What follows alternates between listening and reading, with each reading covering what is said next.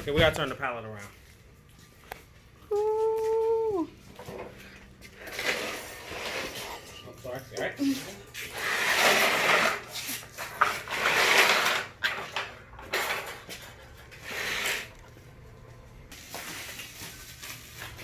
Alright.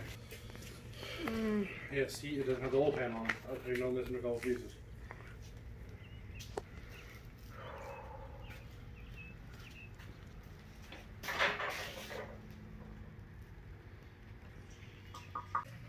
Hello everyone, welcome back to the channel. In today's video, let's see, it's a very special video. We finally got in Becky's power plant.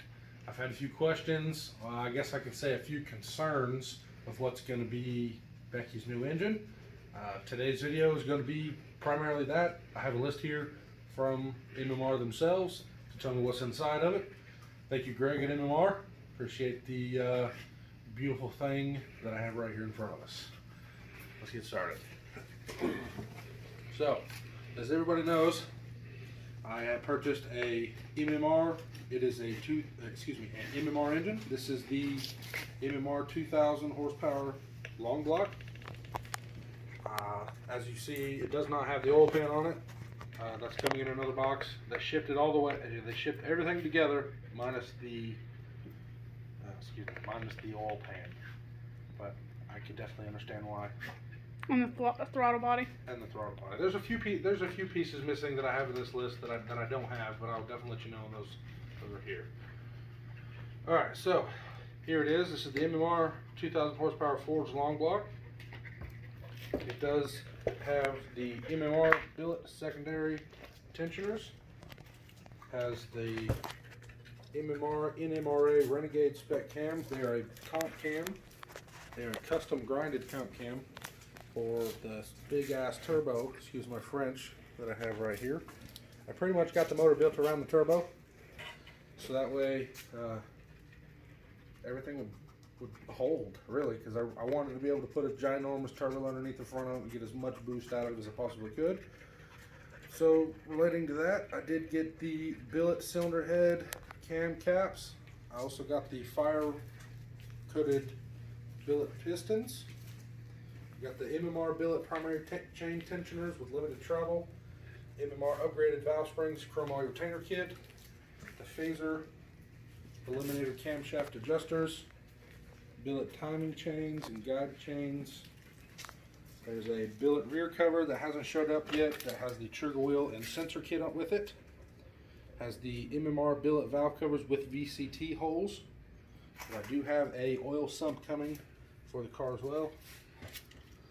That is that is a Moroso oil sump, which is uh, definitely a brand that we've gotten familiar with around here. We have a few Moroso parts coming, which is also a Moroso deep oil pan.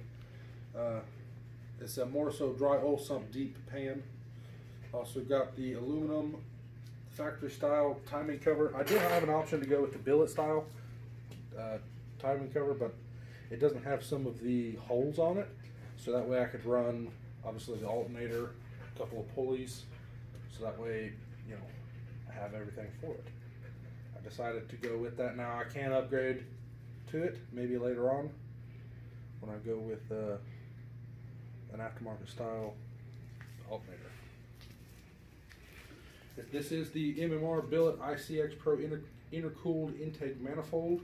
It came with the MMR Billet fuel rails. Those are very, very beautiful. As you see, I also have the MMR billet valve covers. Everything just matches just so, so perfect. Uh, I do have an idea to make a couple of color options on this. On this, I have a buddy who works at a uh, coatings place, so I could definitely get definitely the hot parts coated in a different color if I decide. Let's see. It's a long list, you guys. There's a lot of stuff in here. There's a lot of stuff that is missing. I mean, to be honest with you, it doesn't say anything about the crank. Doesn't say. I know that they're they are a billet connecting rod It's a billet piston that's, that's got the fire coating on it. I'm not sure what the fire coating does, but everything that I've been told and everything that I've seen uh, seems to make it hold a lot more heat, which is definitely what I'm uh, going to try to help avoid with this ginormous turbo, which is a Garrett 94 millimeter. I've got a full FT600 Fuel Tech standalone system with all the wires, all the sensors. That's coming. That should be here within the next couple of days. So hopefully in the next week or so, we'll have all that wired up with the transmission, get ready to go. Because I was thinking about putting it all together. Because obviously I want to put it together before I put it in. Make it a little easier.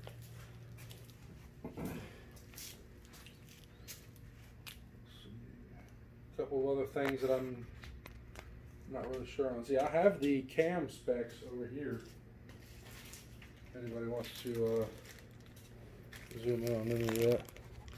I don't know.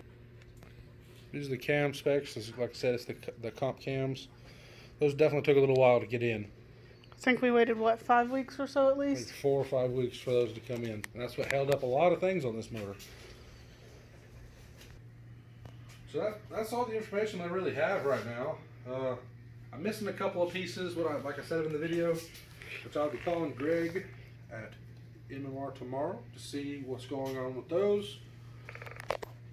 If you have any questions, definitely leave them in the comments down below. Like and subscribe if you haven't already. Y'all have a great day. Y'all, that's hard.